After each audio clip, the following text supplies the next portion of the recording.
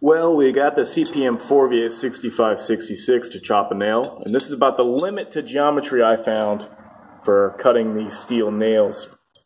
Now, the video I basically I talked about how well geometry is really the biggest, most significant factor, and that is true. But we also have to talk about how carbide volume does affect that issue as well. Because when you start going up really high in carbide volume to stuff like CPM 10V, rough ground, We've got CPM 15V, also rough ground. These are both about 64 HRC. The problem you run into with these is when you're sending energy through the blade, what happens is, is that stress basically connects the dots through the carbides and makes it easier for the blade to fracture. Now the thing is though, with normal use, with a knife this small, you're not actually putting energy like this with normal using unless you're a total dipshit. So realistically, the advantage to these steels is that they have more strength, okay? They don't have as much toughness as this, but they're going to cut longer and they're going to be more wear resistant, okay? So also, we've got a saber grind on here, and I didn't really touch about that at all and how that kind of affects it as well.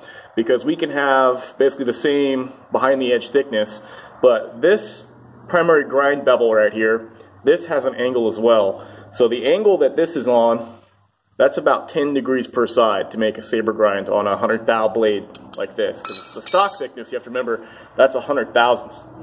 These are similar in stock thickness. But with these right here for the full flat, we're about 5 degrees. So if I were to take this same blade, okay, and hold it at 5 degrees on the belt sander, that brings it up to here. All right, but I'm limited. I can't go 3 degrees per side because that would affect the stock thickness. Okay? So that's kind of how that works in a nutshell. So realistically, you know, things like Vanadis 4 Extra and CPM 4V, that's kind of the limit to strength and toughness. Uh, but if you realize that, you know what, these are just little fucking knives and that you're not actually chopping fucking nails and stuff like that, then you can go with more strength and wear resistance that these types of steels offer. And they're not going to chip in use if you're using them properly, you know, so that's the idea. So I hope that kind of clarifies some things.